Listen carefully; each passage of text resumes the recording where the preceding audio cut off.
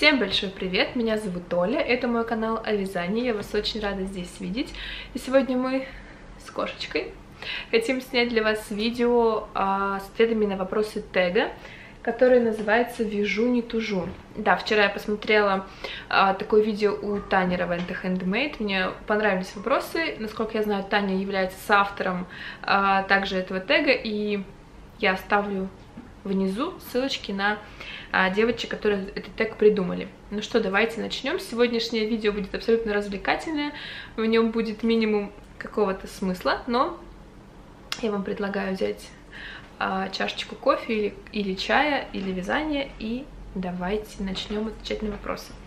Итак, первый вопрос звучит так. Вязание спасет мир, а лично вас от чего спасает вязание? Вы знаете, на самом деле это, конечно, звучит смешно, но вязание очень полезно и для здоровья, и вообще в целом для психики. Я тут недавно прочитала а, такую статью о том, что действительно, во-первых, вязание может, а, может нормализовать давление, может а, успокоить нервы, даже а, избавить от боли ну или, по крайней мере, притупить вот это чувство боли. Так что, на самом деле, в этом а, занятии есть очень много полезного, и вообще, как я люблю повторять, вязание — это йога для мозгов. Ну, а от чего лично меня спасает вязание, кроме всего вышеперечисленного, я скажу так, вязание меня спасает от самого страшного, это э, от нереализованности. Потому что сейчас э, для меня из некогда хобби это дело превратилось просто практически в какое-то мое дело жизни, поэтому э, сейчас, да, для меня это очень важная составляющая жизни, поэтому, да, спасает меня от нереализованности и от э, необходимости ходить каждый день в офис на работу. Вот так. Так, следующий вопрос. А, наверняка у вас есть еще увлечение между вязанием и чем приходится порой разрываться. Я уже сказала, сейчас уже вязание я не могу отнести к увлечениям, хотя э, когда я вижу что-то для себя, то да, это скорее вот как раз такие увлечения. И здесь я скорее разрываюсь между тем, чтобы мне делать дела и повязать что-то.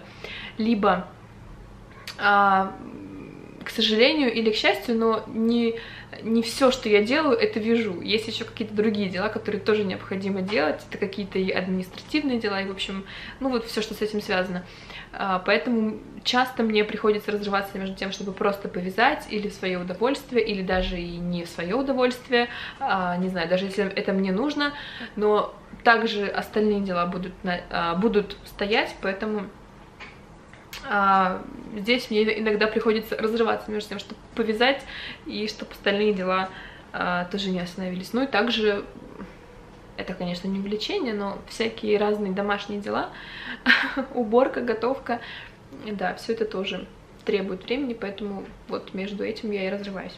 Следующий вопрос. А, предпочитаете повязать чинно с толком, с расстановкой на одном месте или вязание всегда и вязание везде?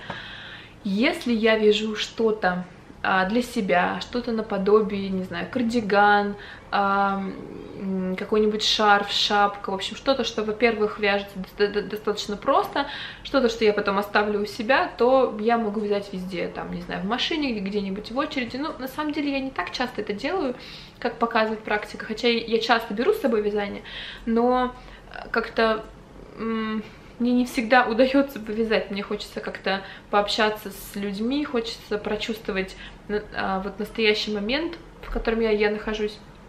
Вот, но если я вяжу игрушку, тем более если я вяжу ее на заказ, то здесь э, вязание в дороге или, или, или где-то вне дома для меня сейчас неприемлемо. Ну, во-первых, это не гигиенично, я игрушки потом не стираю.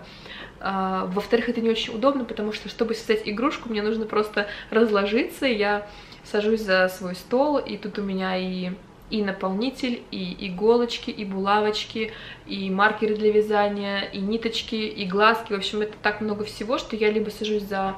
Э, занимаюсь этим за своим рабочим столом, либо я устраиваюсь тут на, на диване и все это раскладываю на журнальном столике. Вот так. следующий вопрос. А, вы скорее из тех, кто обязательно свяжет новый модный узор или вещь, или тренды, на вас не влияют, и вы вяжете, что нравится. Раньше я бы ответила, что я вяжу, что нравится, никаких трендов, я хочу быть такой особенной, но сейчас все-таки я прихожу к тому, что э, отчасти обязательно нужно как-то быть, знаете, вот в этой вот струе, на этой волне, и что-то обязательно пробовать из того, что сейчас актуально, модно. Ну, обязательно здесь тоже нужно смотреть, чтобы это вам откликалось, не нужно делать что-то, потому что это модно, да. А, но если вы смотрите, да, что это, это популярно, это сейчас пользуется спросом, и вам это тоже нравится, почему бы не связать? Ну, как, например, а, вот эти вот э, сумки, авоськи, да, а, я сейчас вяжу сумочку из джута, такую вот соломенную, тоже сейчас это очень популярно. Что еще могу так на вскидку сказать? Ну, наверное, какая-нибудь зефирная пряжа, тоже это такой своеобразный тренд. Ну, в общем, да, здесь нужно э, вс всегда слушать себя, если вам это откликается, то делать, почему нет. Поэтому я скажу так, 50 на 50. Все-таки стараюсь не отставать. Так, следующий вопрос. Сколько у тебя пряжи? Ответьте в мотках, килограммах, упаковках, коробках, полках, стеллажах, диванах, балконах. Ну, в мотках теперь я уже не отвечу, потому что это много. А, вот за два года моего такого, два с половиной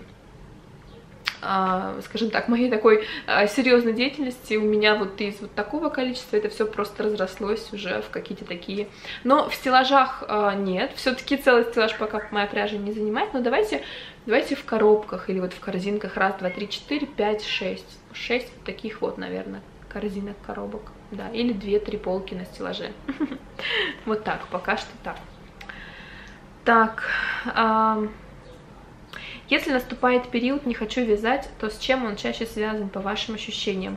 Переключаетесь на другое хобби или просто ждете, когда отпустит? У меня не было такого э, периода пока что, ну ни разу. Я вам честно говорю, что я не хочу вязать. Нет, такого не было.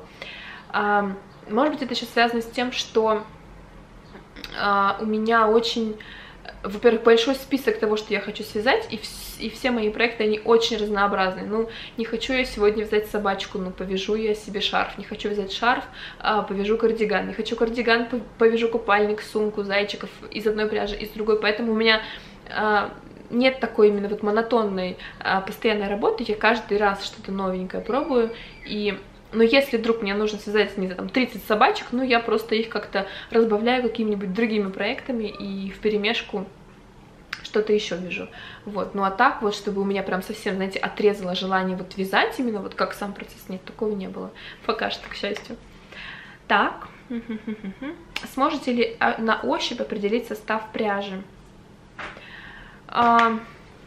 А, ну, мне кажется, что в большинстве случаев, в общих чертах, да, наверное, вот э, мне кажется, что в большинстве случаев я бы смогла определить там хлоп, ну, как бы именно вот в таких общих чертах, да, то есть там хлопок, акрил, э, шерсть, вот. Естественно, я не отличу там какую-нибудь альпаку или э, что там еще бывает, какой-нибудь меринос или там это вот... Э, там, не знаю, полухлопок или хлопок, или это 30% акрил. Нет, но мне кажется, что сейчас уже вот в большинстве случаев, наверное, да, я примерно определю, хлопок это или акрил. Хотя, конечно, я думаю, что тоже могу ошибиться. Из-за чего может появиться желание взяться за спицы крючок. Ну, в моем случае крючок. Um, ну, либо я очень хочу себе эту вещь, как, например, я хотела вот там, не знаю, себе кардиганы или шапку. Я вот, я загорелась, мне хочется поскорее ее связать, мне хочется поскорее ее вам показать. А, либо это а, игрушка тоже, которая возникла у меня в голове, и мне хочется скорее-скорее это все воплотить в жизнь, посмотреть, что из этого получится. Вот, наверное, такая вот какая-то мотивация, э, такой вот такой сильный интерес и сильное желание а, довести вот этот проект до конца. А, самые смешные, странные, сумасшедшие съемки готового изделия. Я думала над этим вопросом, но, наверное, я ничего такого оригинального или необычного вам э, не расскажу. Ничего такого не было. Когда у меня не было еще своего фотоаппарата, мы кооперировались с моими подружками, и они фотографировали меня с моими работами или просто мои работы. Э, мы ходили куда-нибудь в парк или вот там, не знаю, где-нибудь на природе, дома, это, конечно, это всегда сопровождалось таким очень э, приятным живым общением, это было смешно, забавно, и, и единственное, что помню, когда, э, когда я участвовала в марафоне Yarn for Fun два года назад уже почти, там э, на одном из этапов нужно было связать варежки, и потом, когда я их фотографировала, я поехала к своей подруге, это была зима, и, в общем-то, там у нее такие есть красивые а, местечки, то есть там дровница, да, какие-то такие вот а, елочка, то есть а, я, знаете, так помню, очень долго, пока у меня уже руки не замерзли, стояла вот так вот, чтобы красиво показать свои вот эти вот варежки, я стояла и так, и так, но у меня есть даже фотография, я, может быть, ее вставлю вот куда-нибудь сюда, то есть как это все выглядит со стороны, если снимать меня полностью, а не только руки, то есть я там в такой раскоряченной позе вся стою, но чтобы вот руки были на каком-то красивом фоне, вот такой момент. Так, есть ли а, сейчас у вас какие-то вязальные мечты, воплотимы ли они в жизнь? Предпринимаете ли вы что-то для того, чтобы их реализовать? Есть ли большие мечты, которые уже исполнились? Сейчас у меня есть мечта, я хочу а, связать красивую, ну или как, научиться вязать красивую одежду. Именно в таком, знаете, стильную, современную, может быть, немножко в каком-то бохо стиле. А, я пока не могу найти а, мастер-классы или описание. Все, что я нахожу, я по таким очень скудным описаниям не могу связать одежду. У меня очень маленький в этом опыт, и я совершенно ничего не смыслю в конструировании. Для меня это очень сложно. Мне нужен прям вот максимально подробный мастер-класс, чтобы там был описан каждый шаг, как рассчитать.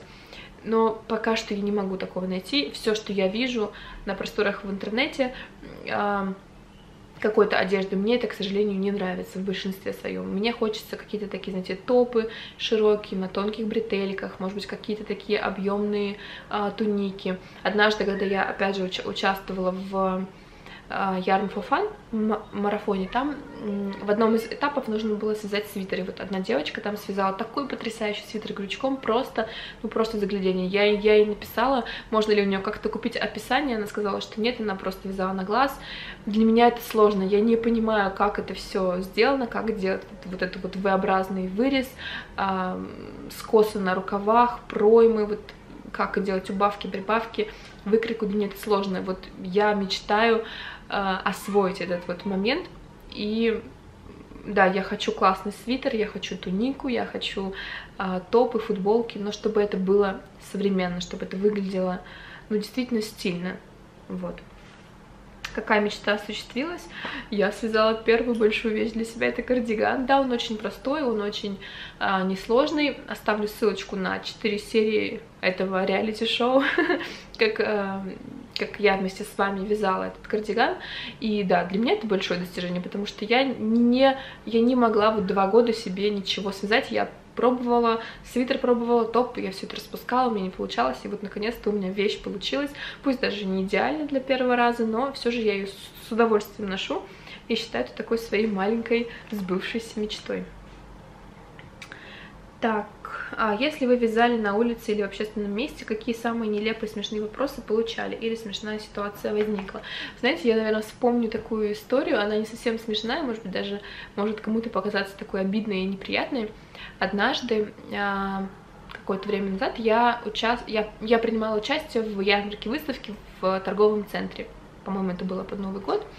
Вот, и, значит, по-моему, я сидела, вязала, э, вот, ну, за своим столом и мимо проходил а, мужчина с дочкой, с маленькой, ну, может быть, ей было лет 7, и он ей а, сказал, ну, так, что я это тоже услышала, может быть, он это специально, может быть, нет, не знаю. Он мне сказал, вот, посмотри, будешь плохо учиться, а, вот так же навяжешь игрушки и будешь сидеть торговать. Знаете, в тот момент меня как будто просто а, пронзила какая-то молния. Мне было, конечно, неприятно, но потом, немножко проанализировав эту ситуацию, я поняла, что, ну, человек просто не в курсе, человек просто не знает вообще, чем я занимаюсь, а, как устроена моя жизнь, и что на самом деле очень легко это все обесценить, и очень часто, я думаю, что девочки, которые тоже занимаются а, созданием чего-то своими руками, часто сталкиваются с тем, что общественность пытается всячески обесценить и всячески как-то, а, ну, может, принизить наши результаты а, какими-то такими пренебрежительными словами рукоделие, а, там, рукодельница. Ну, хотя я не считаю это каким-то оскорбительным словом, но если для тебя это уже не хобби, да, это уже там твоя работа, твое дело, и как-то но это продолжать воспринимать как увлечение, хобби, постоянно спрашивают, а где ты работаешь, какая у тебя основная работа, и никому не приходит в голову, что э,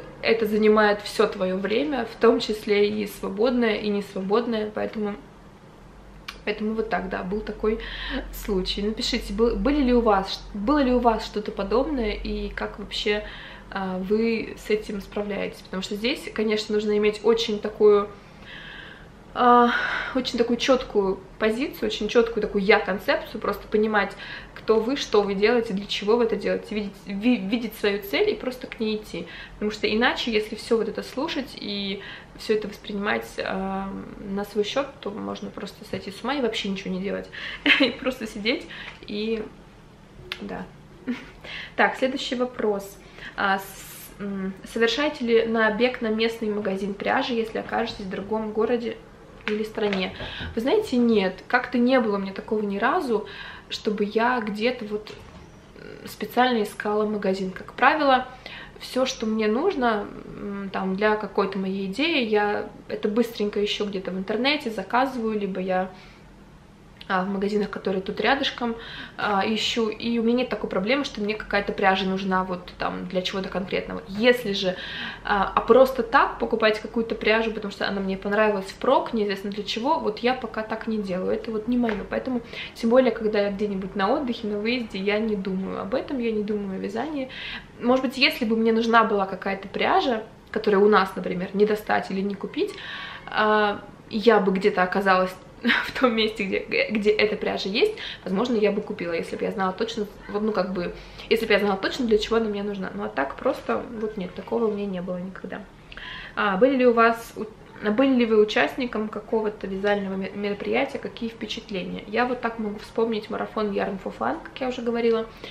На самом деле это был мне очень крайне, это был крайне полезный для меня опыт. Это было несколько недель, я уже не помню сколько, может быть 5 недель или 6 Каждую неделю были новые задания, и я вот за эти несколько недель столько научилась, я столько нового узнала, что просто это были такие концентрированные знания, я попробовала столько новых материалов, новых техник. Но вместе с этим это, это занимало и очень много времени, и очень много сил, поэтому сейчас уже я не могу себе позволить вот участие в таком именно, а, вот в таком формате, когда каждую неделю у тебя достаточно объемное большое задание, которое нужно сделать, но на тот момент было мне это очень полезно, это было много вдохновения и, еще раз повторюсь, много новой информации. Какие еще были мероприятия? Я вот так даже не вспомню, мне кажется, что-то еще было.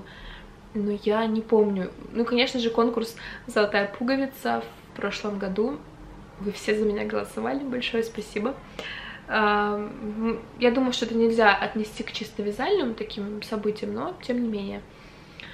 Вот, так, по-моему, вроде ничего. Если что-то еще было, напомните, вдруг я просто забыла. А, вообще как-то я не участвую, я немножечко как-то таким особняком в этой вот рукодельной интернет-жизни нахожусь. Я не участвую ни в каких совместных проектах, каких-то марафонах. Вот как-то так складывается. Так, предпоследний вопрос. Стираете и сушите вязаные вещи по всем правилам или но его на батарее высохнет? Вот именно второй вариант, да. Ну, игрушки я не стираю, я стираю, если что-то я связала, там, не знаю, шапку, шарфик. Если я вяжу для себя, то вот это прям очень точное выражение, ну его на батарее высохнет, прям вот это точно. Когда я кардиган свой стирала, а, я его постирала, рукава оказались длинные, я его снова закинула в стирку, прибавила температуру, в общем, так. Вот, но, а вообще, вот по всем правилам, я даже, честно говоря, не знаю всех правил, я не знаю, как это все нужно делать. ВТО, влажная тепловая обработка. Влажную, я понимаю, нужно постирать, потом разложить, а вот тепловая, то есть я никогда не гладила вещи, не отпаривала ну, за исключением, может быть, салфеточек каких-то. Поэтому я даже не знаю этих правил, даже не знаю, как нужно правильно а, проводить вот ВТО кардиганов или там, допустим, свитеров, потому что шапки-шарфы я просто стираю и сушу потом на полотенчике. Так, самый крутой комплимент по теме вязания, который вы когда-либо получали. Вы знаете, мне очень много пишут невероятно добрых слов, и это все, знаете, сливается в такой вот один, такой сплошной поток позитива, такую, а, такую светлую какую-то волну, которая, наверное, до сих пор и меня несет, и вообще а, вдохновляет, поэтому над некоторыми, конечно, комментариями я просто иногда, не знаю, пускаю слезу, потому что это, это очень приятно, это очень здорово. Но, наверное, один из таких самых приятных комплиментов для меня, как для человека, который делает игрушки, это то, что ребенок не выпускает твою игрушку из рук, что он ее кормит, он с ней спит, а, там, он с ней гуляет, носит ее в садик, одевает. И, в общем, наверное, для меня это вот самый, самый, самый важный, самый приятный а, комплимент, который только может быть. Ну, еще, когда мне подружка говорит, классный кардиган, свяжи мне такой же. Вот и все. Это были ответы на все вопросы. Получилось очень длинное видео. Не знаю, буду как-нибудь резать, чтобы было не такое длинное. Надеюсь, вы хорошо провели время. Надеюсь, вам было интересно, немножко весело. А, большое спасибо за просмотр. Я вам всем желаю творческого вдохновения, ровных столбиков, и вообще классного лета. У нас лето стоит на дворе. И вообще, скажите мне, у вас летом как-то снижается ваша а, продуктивность в плане вязания? Или вы вяжете что-то более летнее. Вообще, что вы вяжете летом? Все, увидимся с вами уже очень скоро. Всех целую, всем пока.